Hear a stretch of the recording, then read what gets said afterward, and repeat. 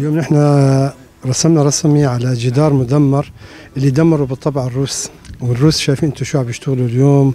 آه تكبر وتجبر على دول العالم إذا ما وقفت ضده. هذا ما له عنده رادع؟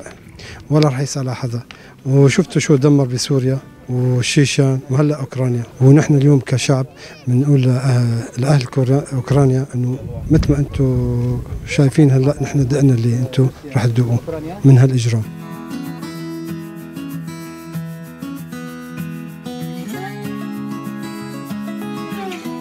طبعا اليوم نحن بنرسم على جدران بيوتنا يلي دمر طيران بشار الاسد بدعم من الاحتلال الروسي.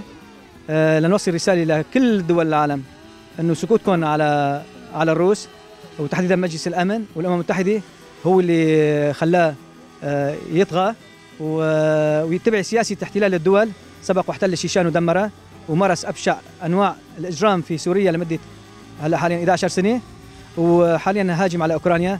بتوقع هاي السياسة القذرة رح تستمر لطالما ما نوضع لهم حد. طبعا نحن يمكن لأنه أصحاب تجربة مريرة في اجرام الروس دائما نشعر بكل الالام يلي بيحسوا فيها شعوب العالم.